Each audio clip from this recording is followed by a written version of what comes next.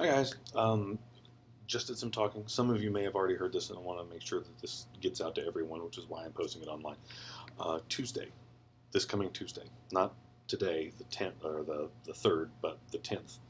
Uh, the 10th is no longer your due date. The 12th is your due date for uh, your apartment project. Uh, it turns out the syllabus I was working off of was based on something that Philip had filled out last year, and on that day, on the well, on the analog of the class day that was the 12th last year, Philip had an out of town commitment and couldn't make it, uh, couldn't hold class. So class was suspended for that day for Philip. It wasn't like a student, a teacher in service, and all the students had no classes and all that kind of stuff. So, yes, you guys have classes. You have classes with me. I'll be there.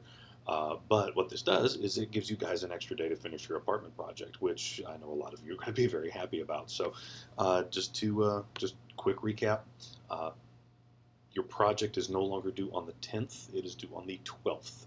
Um, and in addition to that, um, basically that means that the that the 10th is going to be an in-class work day, and so is the 12th is going to be an in-class work day.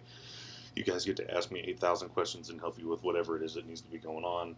Um, the uh, uh, the next thing is, is obviously going to be you know uh, try and keep up with everything. Uh, I'm going to post uh, uh, revisions to Blackboard.